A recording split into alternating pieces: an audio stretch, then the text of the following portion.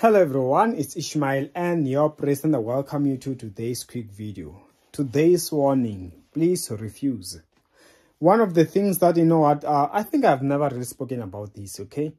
But on the every time when I'm in caught up in a situation, I always remember that when I'm about to feel like giving up on praying and I'm like, ah, it will sort itself out. I'm like, remember, you have must have a stubbornness of not letting the enemy take advantage.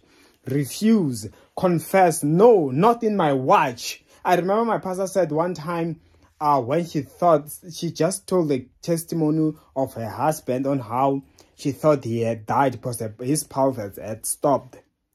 Long story short, she said she felt like crying because she knew that it meant that he's no longer breathing. But she was like, no, if it is it means to cry i will cry when it, i still have a long time to cry. Right now is no time to cry. Right now is the time to rebuke this death. No ways. And she started to pray pray pray until he gained cautious and started breathing again. I pray that please refuse. Don't let them take advantage of what is yours because if you do they will. That is what they live for. I pray may the lord strengthen you in jesus name Amen. My details are in the comment section below. See you next time.